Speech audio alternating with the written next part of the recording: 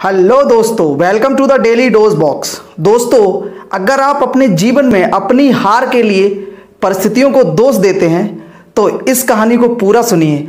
आप परिस्थितियों को दोष देना बंद कर देंगे। दोस्तों, इस कहानी को सुनने के बाद आप अपने जीवन में परिस्थितियों से कभी हार कर नहीं बैठेंगे।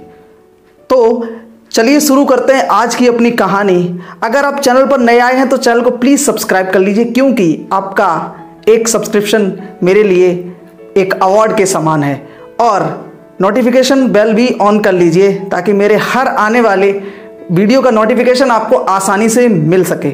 दोस्तों, हमारे जीवन में जो परिस्थितियाँ होती हैं, हमें उनसे कभी हार नहीं माननी चाहिए। और कभी भी खराब परिस्थितियों को अपनी हार का कारण भी नहीं बनाना चाहिए। दोस्तों, इसको साबित करने के लिए एक ऐसी कहानी मैं आपको सुनाने जा रहा हूँ। जिसको सुनने के बाद आप अपने जीवन में परिस्थितियों से कभी हार नहीं मानेंगे, या फिर उन परिस्थितियों को कभी दोष नहीं देंगे, जिनकी वजह से कभी न कभी आपकी हार हुई है। दोस्तों, एक व्यक्ति था जो एक रेगिस्तान में घूमने गया था। रेगिस्तान घूमने के लिए भी अच्छी जगह होती है। तो वो व्यक्ति उस रेगिस्तान में घूमने गया। घूमते घूमते उसे दो चार दिन हो गए, लेकिन उसे पानी बहुत कम मात्रा में मिला।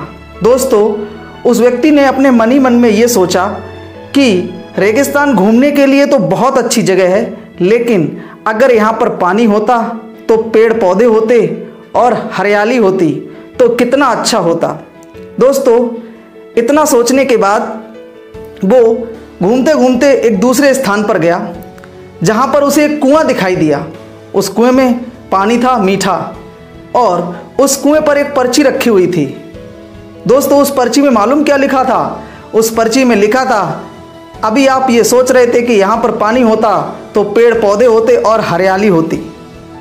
तो अब आपके सामने कुआँ है और पानी भी है तो क्या आप पेड़ पौधे लगा सकते हैं?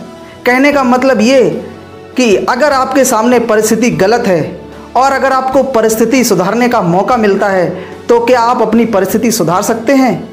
दोस्तों, जीवन में हमेशा हमें परिस्थितियों को सुधारने का मौका मिलता है।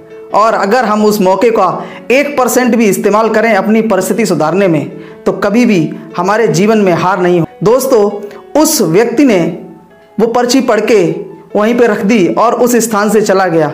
उसने उस परिस्थिति को बदलने की कोशिश नहीं की। लेकिन यदि आपके जीवन में ऐसी कोई परिस्थिति आती है और आपको मौका मिलता है उसे बदलने का तो आप उसे ज़रूर बदलिएगा। दोस्तों, ये कहानी आपको कैसे लगी? कमेंट करके मुझे ज़रूर बताइए। जुड़े रहिए मेरे साथ, मेरे चैनल पे, ऐसी ही मोटिवेशनल स्टोरीज़ और अमेजिंग फैक्ट्स के लिए। मिलेंगे अगली वीडियो में किसी नई जानकारी के साथ। तब तक के लिए अपना ख्याल रखिए, खुश रहिए। जय हिंद।